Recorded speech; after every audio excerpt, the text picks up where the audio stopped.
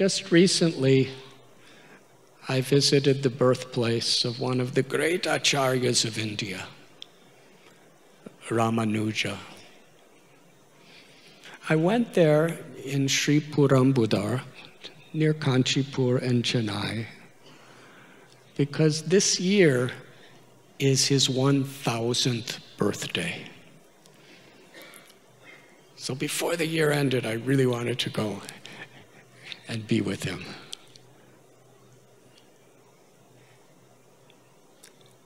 His successor was named Parasara. I'd like to tell a little story about Parasara. When Parasara was five years old, living in Srirangam, which is the largest temple in all of India, even today. One day, a Digvijay Pandit, a great champion of logic and grammar and philosophy, who traveled throughout the whole of India challenging scholars to debate. Now, this is over 900 years ago. Debate was the sport of India.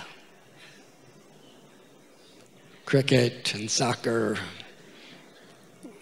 nobody cared. But debate, because people had a different consciousness in those days. If you were a champion debater, you were better than a Bollywood star, better than the topmost politicians, and better than a cricket star. So this man, he gained so much wealth, so much fame. He had four strong men carry him in a decorated palanquin from town to town, to city to city, to tirtha to tirtha. He had marching bands in front of him. He had Brahmins chanting mantras and slokas and stotras. And there would be a loud challenge. There is no question that Panditji cannot answer. So as he was coming through the town, all the scholars were running away because they were afraid he may challenge them. Little Parasara, five years old, ran up to him and said, Sir, I have a question for you. He looked down from his palanquin. He said, I am the champion scholar of the world. You are just a child. Get away from me. Parasara said, But I have a question for you. He said, Your mother's milk is still on your lips. Out from here. Debate is serious. The little boy said, If you're enlightened, then why are you making so much emphasis on the size of my body? I'm not my body. Please answer my question.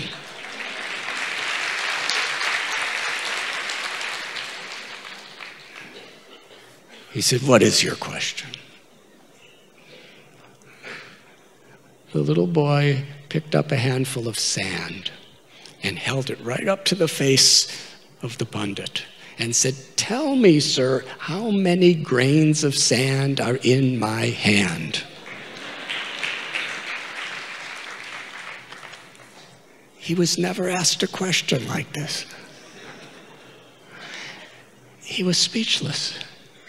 He had no idea how many grains of sand were in his hand.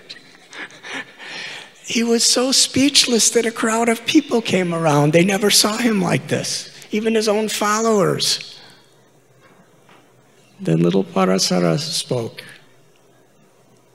He said, Sir, a person who has knowledge, real knowledge,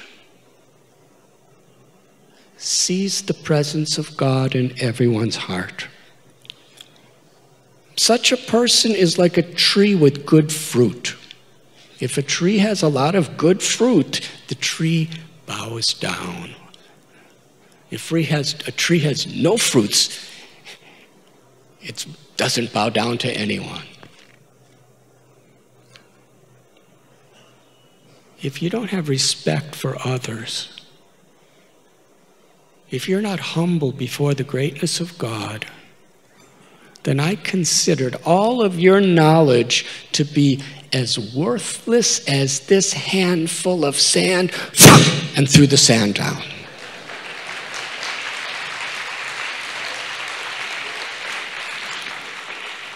Coming from a tiny five year old child, it pierced his heart to the core. He came down off of his palanquin and bowed to the feet of this small child. And with tears of humility in his eyes, he prayed, I want to be your disciple. And he became a disciple.